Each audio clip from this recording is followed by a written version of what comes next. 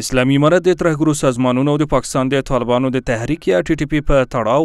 د ملګرو ملتونو د بندیزونو د څارنې ډلې راپور ردوي او زیاتوي چې په هیواد کې هیڅ بهرنی حضور نه لري زبی الله مجاهد په هیواد کې د داعش د حضور په تړاو د ملګرو ملتونو د بندیزونو د څارونکو ډلې د راپور په خبرګون کې وایي چې د داعش ډلې ګواښ په ټیټه کچه دی او اسلامي امارت د خپل تګلارې لمخې هیڅ کس او ډلې ته د افغانستان له خاورې د نورو هېوادونو پر وړاندې د فعالیت اجازه نه ورکوي.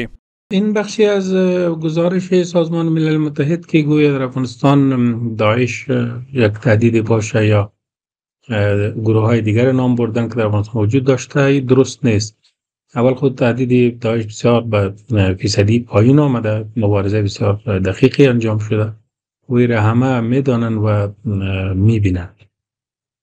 و دیگر گروه های بیرونی هم در افغانستان هستن وجود ندارن تر دې وړاندې د ملګرو ملتونو څارونکي ډلې په یو راپور کې ادعا کړې چې په افغانستان کې ترهګر سازمانونه فعالیت لري گزارش ها استخباراتی و سیاسی است نه گزارش هایی است که با واقعا دلسوزانه باشه و برای افغانستان نفع داشته باشه و بتاند یک تغییر مثبت بیاره و یا مردم افغانستان خوشحال بسازه و یا بر آینده مردم افغانستان یک امیدواری بدن که ما میخوایم قضیه افغانستان علا فصل بکنیم یعنی باز هم امو گزارش هایی است که از یا متاسفانه باید بگم سناریو سازی است برای یک آینده تاریک رقابت های جهانی منطقوی باعث تجدید ایجاد تروریسم شده